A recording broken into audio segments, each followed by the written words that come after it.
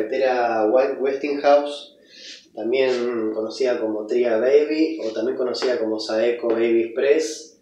Es exactamente la misma cafetera con diferente gráfica. Eh, es una cafetera de los años 90 al 95, o sea, tiene 30 años más o menos. Eh, tiene bandeja 40 pocillos acá, portafiltro, eh, Z para vapor. Bueno, vamos a hacer un café como para mostrar cómo sale, ¿no?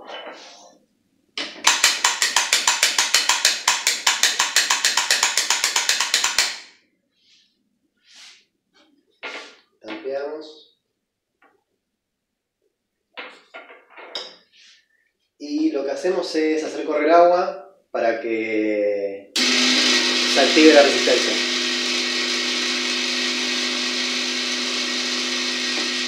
La luz prendida significa que la resistencia de adentro de la caldera está calentando el agua y cuando se apague la luz significa que el agua está a la temperatura ideal para sacar el café. Eh, adentro tiene una caldera de aluminio como esta y acá está la resistencia ¿no? que calienta el agua. Eh, lo malo de estas calderas y por lo cual eh, estas cafeteras no van a durar para siempre es que la caldera es de aluminio y se va el aluminio con la presencia del agua, de a poco se va agujereando hasta que finalmente la caldera pierde agua y no sirve más la cafetera. Bueno, se apagó la luz y ahí tiro el café.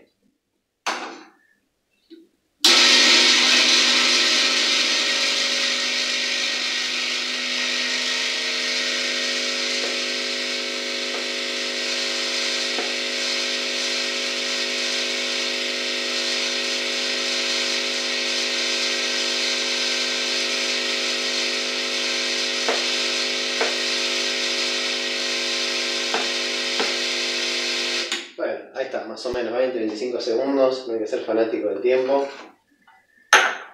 Eh, después también, bueno, eh, tira muy buen vapor, esta cafetera tira muy, muy buen vapor, apto a darte la té. Eh, se acciona así el vapor. Apretamos acá y va calentando la, la resistencia, ¿no? hasta el nivel que llega a los 140 grados y tira bastante presión, van a, van a ver ahora.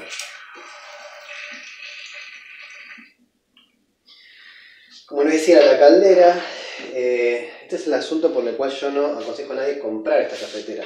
Yo tuve que comprar dos para hacer de las dos una. Acá no sé si se ve bien. A ver.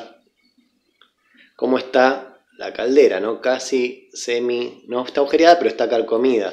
Les puedo asegurar que la caldera que esta tiene acá adentro está to- todavía mucho peor, pero funciona porque la caldera era muy gruesa, pero bueno, está comida. Llega un momento donde el, el aluminio se va carcomiendo hasta que se escapa el agua y ahí listo, tenés que tirar la cafetera. Descartamos un poquito de agua. Entonces, ¿qué pasa? Eh, las cafeteras por afuera se pueden ver muy lindas, pero por adentro, a menos que el vendedor te, te la va a vender, te muestre la caldera por adentro, eh, no hay forma, es una bomba de tiempo, es una ruleta rusa, no hay forma de saber cómo realmente está la cafetera, por más que se vea excelente por afuera, la compras, la caldera está a punto de agujerearse y perdiste. Listo, está como para emulsionar el agua, le llevo la leche.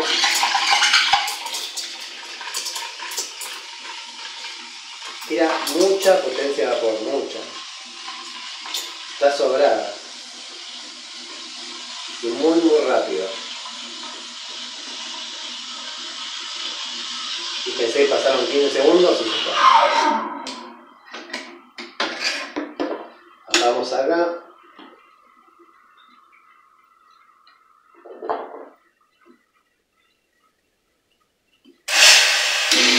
Muy importante volver a llenar la caldera eh, de agua, porque al tirar vapor se vacía de agua la caldera y si puede quemar. Entonces, si tiene poca agua adentro de la caldera. Entonces, la forma de llenarla es abrir el vapor y accionar la bomba.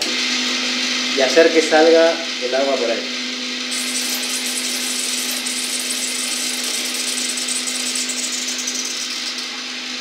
Listo, ya está. Bueno, apago.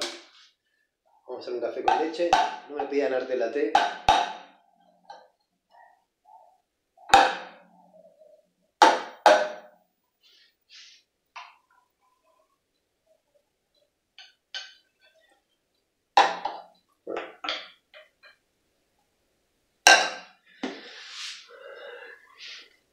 Café con leche está muy bueno. Entonces, si bien es una cafetera que en los años 90 andaba muy, muy, muy bien, ya en el año 2022, como les decía, es una ruleta rusa comprar una, es muy riesgoso.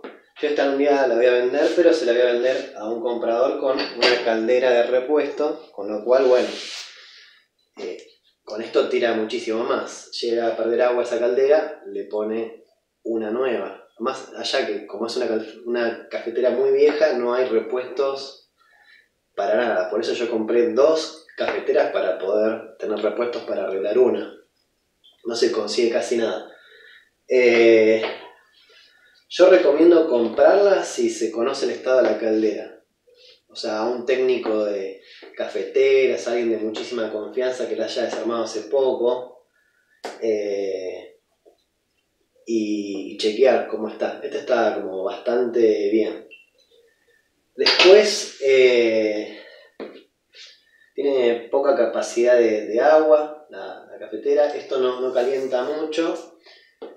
Pero eh, el portafiltro es de 58 milímetros, o sea, de tamaño profesional. Viene con el filtro simple y el filtro doble de 18 o 16 gramos y este es de 9, 10 gramos. Así que bueno, esta es la reseña, cualquier cosa me pueden preguntar por los comentarios alguna, alguna cuestión. Eh, bueno, no hay mucho más para decir de esta cafetera que tiene más o menos 30 años. Ya mostré cómo funciona, vapor, digo, este es para la bomba.